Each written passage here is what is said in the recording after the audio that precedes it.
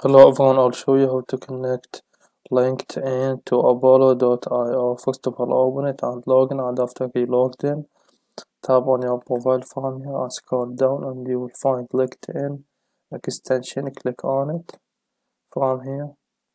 And after that will show up to you like this. And now what you need to do is to tap on add to Chrome and after you download this extension Apollo.io now head over and open LinkedIn and after that you will find the extension right here. We just downloaded this extension and after that open any profile from here if you want to add him as a contact on your apollo.io